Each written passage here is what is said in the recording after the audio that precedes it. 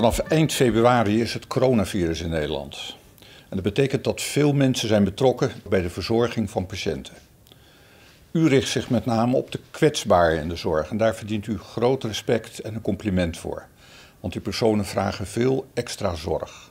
Ik kan me voorstellen dat u veel vragen heeft hoe je het virus oploopt, of je kan voorkomen dat uw cliënten en bewoners van de huizen het virus krijgen en of je het eventueel aan elkaar kan overgeven. In deze video gaan we in op deze vragen. Het coronavirus verspreidt zich van mens op mens. Het coronavirus vermeerdert zich achter in de neus en in de keel. Dat geeft op een gegeven moment klachten van niezen, van hoesten.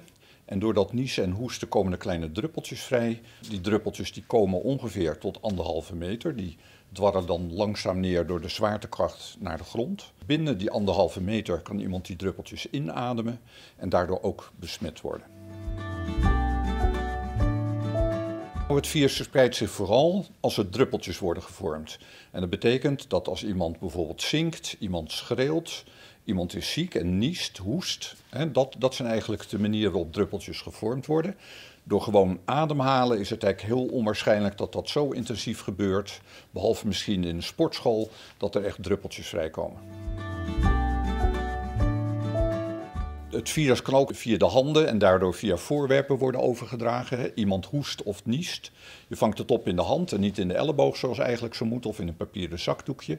Van de hand kan het tot op een voorwerp overgaan, op bijvoorbeeld een deurknop. Ook dan is het weer belangrijk om nadat je een voorwerp hebt aangeraakt, goed je handen met water en zeep te wassen.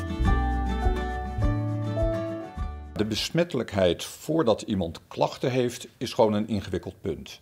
Want wat gebeurt er in de praktijk? Het virus zit achter in de neus en in de keel en vermeerdert zich daar binnen de cellen van de slijmvliezen. Dus de periode vlak voordat die klachten ontstaan, zit het virus al in de neus. Dat betekent dat er altijd enig risico is op overdracht voordat iemand klachten krijgt.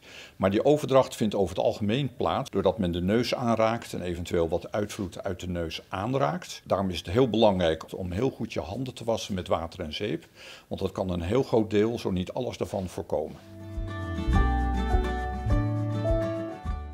We weten dat uh, oudere personen lang niet altijd dezelfde klachten uiten als bijvoorbeeld jongeren, die heel makkelijk koorts maken of wel heel snel duidelijk hoesten.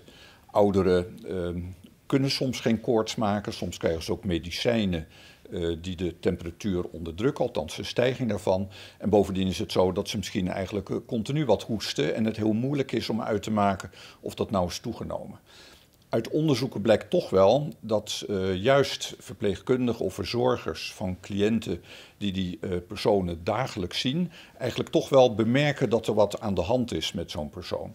En we denken dat het dan ook belangrijk is dat uh, als u dat waarneemt, dat je op dat moment aan de arts vraagt om de persoon te beoordelen of er toch niet sprake zou kunnen zijn van een coronavirusinfectie en of de cliënt of bewoner daar niet op zou moeten worden nagekeken. En dat geldt zowel voor kwetsbare ouderen als personen uh, in gehandicapte huizen. Het gaat er eigenlijk altijd om dat juist door het feit dat u zo regelmatig contact met die personen heeft, ook het beste, de beste persoon bent om eigenlijk op te merken dat ze toch net wat anders zijn dan anders. Coronavirus het kan natuurlijk met hoesten verspreid worden. Dat betekent dat iemand op sanitair of op beddengoed kan hoesten, maar het kan ook met de ontlasting. Het kan in de ontlasting aanwezig zijn en men is niet altijd continent. Dus dan kan je voorstellen dat beddengoed en natuurlijk zeker ook het sanitair daarmee besmet kan worden. Dat betekent als je daar handelingen aan verricht of het schoonmaakt, dat je handschoenen aantrekt, dat je daar de handelingen mee doet, dan de handschoenen verwijdert en vervolgens je handen goed wast. Hou vol. En let goed op uzelf, uw cliënten, bewoners en medewerkers. Want alleen samen houden we het coronavirus onder controle.